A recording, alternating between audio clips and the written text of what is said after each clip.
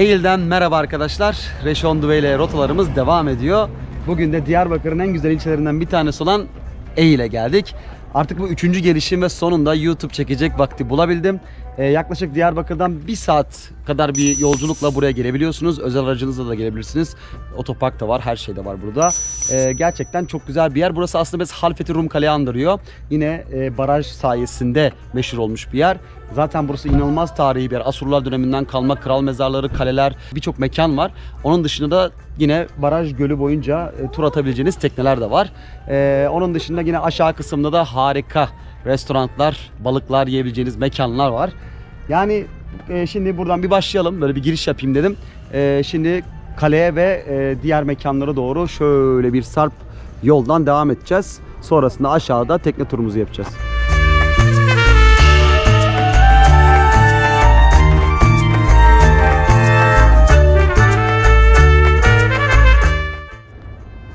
Evet arkadaşlar şu anda çok güzel bir nokta buldum yine kendime. Bakın gördüğünüz gibi şu anda Asurlar döneminden kalma e, Samaras, Samanras mıydı? Yanılmıyorsam kralın ismi oydu. Onun döneminden kalma kale karşınızda duruyor. E, burası sonrasında Romalılar tarafından da kullanılmış bir yerleşke aslında bu kısım. E, şu an gerçekten inanılmaz yüksek bir noktadayız. E, ama kalenin olduğu noktadan Eğil Baraj Gölü'nün muhteşem bir görüntüsü var. E, birazdan şu karşı tarafa doğru gideceğiz. Sadece şöyle yüksekliği göstermek istedim size. Selam.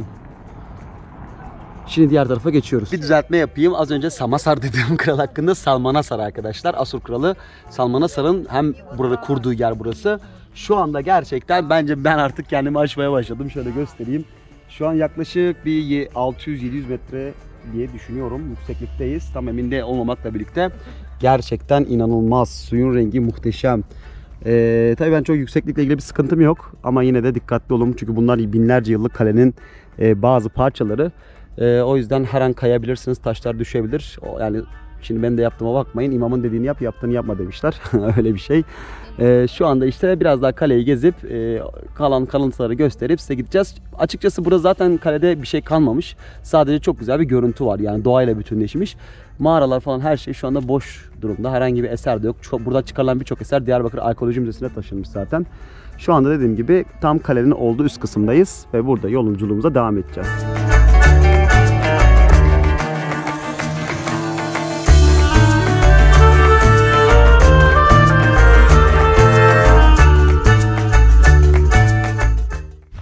Şimdi Eğil inanç turizmi için de çok önemli bir yer arkadaşlar. Sadece buraya hani doğa ya da tekne turu yapmak için insanlar gelmiyor.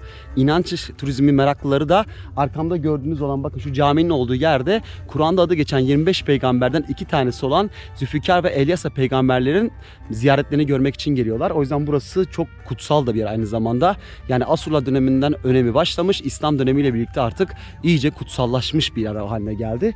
Ee, şu anda da zaten kalenin olduğu en üst noktaya geldik. Bundan sonra zaten artık görecek bir şey yok. Sadece fotoğraf çekeceğiz. Sonrasında aşağıdaki teknelere doğru yolumuza devam edeceğiz.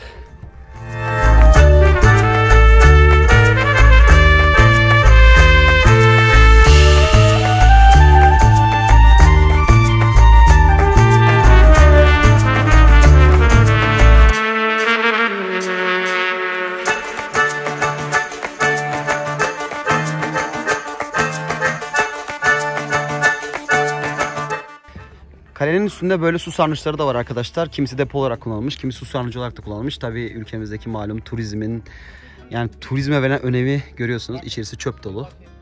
Ya zaten bu nereye gidersem gideyim kaderimiz artık.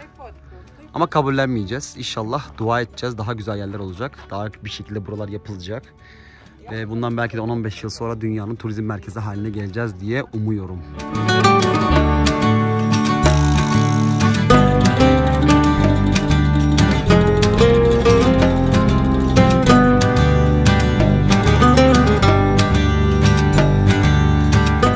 Tepenin sonlarına doğru bazı menengiç ağaçlarını gördük arkadaşlar. Bakın şu meşhur menengiç kahveleri yani aslında fıstığın aşılanmamış hali diyoruz biz onlara.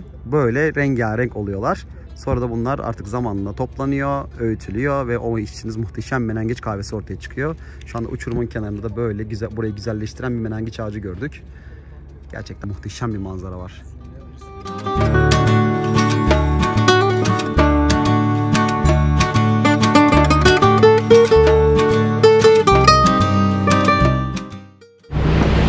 Şimdi tekne turu zamanı arkadaşlar. Hemen e, Eğil Kalesi'nin alt kısmında tekneler bekliyor. Marina gibi bir yer var.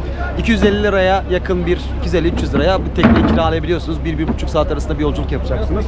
Bu baraj gölünde bir tur atıp geliyorsunuz. E, zaten tekneyi kiraladıktan sonra kapasitesine kadar istediğiniz kadar kişiyle binebilirsiniz. E, şu anda dediğim gibi şu tekneyle, arkamda da gördüğünüz tekneyle kısa bir yolculuk yapacağız. Daha doğrusu e, evet şu an güneş geri açtığı için herhalde biraz uzatabiliriz. E, gerçekten yani biraz da Rum Kale ve Halfeti aslında e, tarzında bir tur olacak bizim için.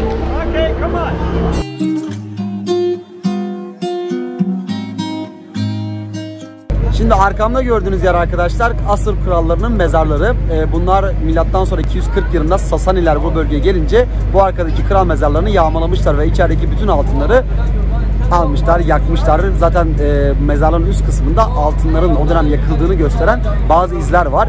E, burada yaklaşık 10 tane kral mezarı var. Diğer kralların mezarları da yukarı taraflarda. E, burası tamamen arkamda gördüğünüz aslında bir antik şehir. Sadece alt kısmında kral mezarları var. Bu yuvarlak gördüğünüz şu hemen şu taraftakiler.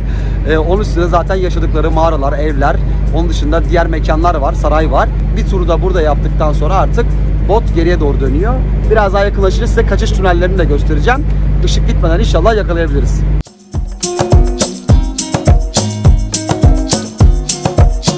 Şimdi bakın buradaki en ilginç yer e, yukarıda zaten e, kaçış tünellerinden bahsetmiştim. Yukarıdan buraya uzanan şu gördüğünüz karşıdaki tüneller ve merdivenler arkadaşlar. Bakın karşıda merdivenler var. Buradan gördüğünüz gibi bakın şehir herhangi bir e, saldırıya uğradığı zaman bu tünellerden suya kaçış yapıyorlarmış. Ve buradan da artık şehri terk ediyorlarmış. Gördüğünüz gibi gerçekten ilginç bir şey ve neredeyse 2000 yıldır bunlar kendini korumaya başarmış.